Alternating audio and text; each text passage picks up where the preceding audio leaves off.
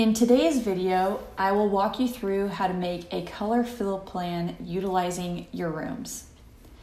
I'm starting with what appears to be some sort of office building with an entry right here, reception, waiting area, lobby, and a couple classrooms and a couple offices.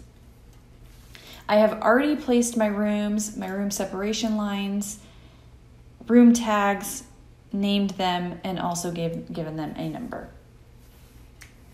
So let's say you wanted to either make a presentation presentation plan or some type of plan with color just to jazz it up a little bit so it looks a little better than your black and white plan. So a good option would be to use a color fill legend. If I go to the annotate tab and over on the right select color fill legend and hover over in my drawing space and click once, you notice I've placed my color fill legend, but there's no color. So let's go investigate as to why. If I click on the color fill legend and I go to edit scheme, you'll see that the first thing you want to look at is category. So it's under spaces. And I am using a color, I want to apply a color fill legend to my rooms right now. And so I'm going to just drop it down and switch it to rooms. And then it's giving me kind of some already pre-made color schemes here, name or department. I'm going to click on name. So now you'll see that all of my room names pop up with some Revit generated colors here. So that looks great. Um, side note, depending on what version of Revit you're in, I'm working in Revit 2021, you'll see this option to include elements from links. That's in, that would be including elements from other linked Revit files that may be linked into your project. I don't have any, so that doesn't matter, but it's just something to pay attention to if you do. Um, and then I'll press OK. All right, so it doesn't seem like a lot happened. So I have some color to my color fill legend, but I don't have any color on my actual plan. So let's walk through some troubleshooting techniques. The first thing I want to check is visibility graphics to make sure that the color fill is on under rooms. So I will go down to rooms, expand that color fill. Yeah, it seems to be on. Okay. So the next thing I want to check is the location of the color scheme. So in your view over in your properties palette under graphics, we have color scheme location here. Right now it's set to background. So I have two options here, background and foreground. So let's see if anything happens if I change it to foreground.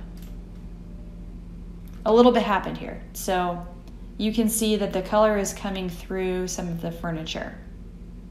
Um, so that's not entirely what I'm going for. I kind of want the color to fill the entire space. So the next thing we can troubleshoot, I'm, I'm thinking here that I have a floor modeled that maybe my floor is covering up my color fill legend or my color fill. So let's change this to wireframe and see if anything happens.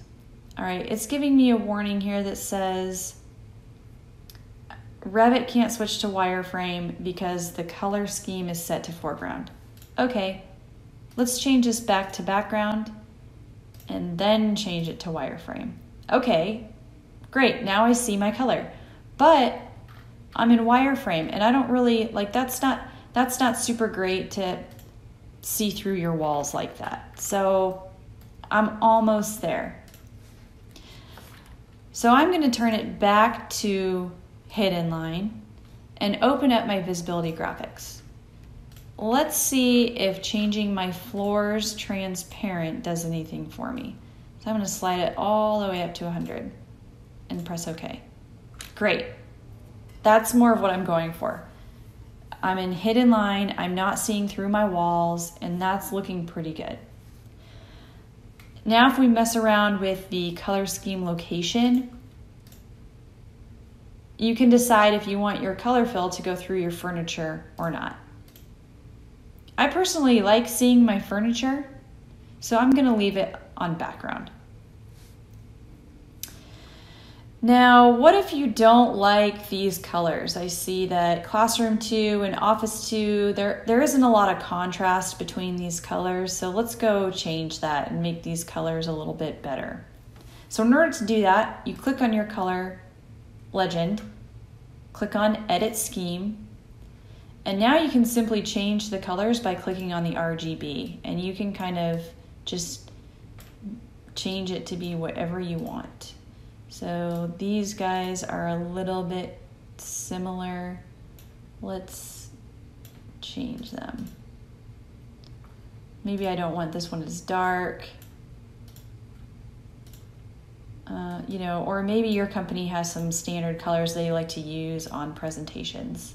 You can easily switch it, enter in the RGB here if you wanted to, if you had a specific color, or you can just eyeball it, kind of how I'm doing. So I'll make this one a little bit lighter. There you go. Okay, that's a little more pleasing to the eye. Some other options you have is clicking on the color fill legend again, edit scheme. You can change the name, the title, and you can change it to anything. Color legend. If you say apply, you'll see that it changed over here. And you can name it what you want. Another thing is you don't have to have the color applied to the room name. You can change it to any one of these parameters that it's listing here. So say for example, I want to create a quick floor finish plan. Now these parameters are going to differ from company to company and from template to template. Some companies are going to add parameters to their template that might be different. So some of my parameters showing here will not be showing in your project. So before I change any of these parameters, what I want to do over here so I can preserve these colors is let's duplicate and I'll call this floor finish. And now when I'm on floor finish, I'll change the parameter. It's saying, you know, you know, we can't preserve the colors that you've chosen. Okay, I'm gonna change them anyways. So now when I say okay, you can see that the magenta color is tile and the teal color is carpet. So I've already gone in and placed this. If I go into my office, you can see under floor finish, I have it specified as carpet. If I go into the circulation area, you can see my floor finish is tile.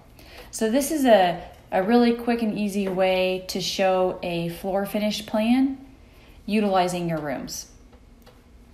And the last step you want to do so you don't really want to see these room separation lines on your final documents. So be sure to go to Visibility Graphics, under Lines, and turn off the room separation line. And there you go. That looks great. Thanks for watching.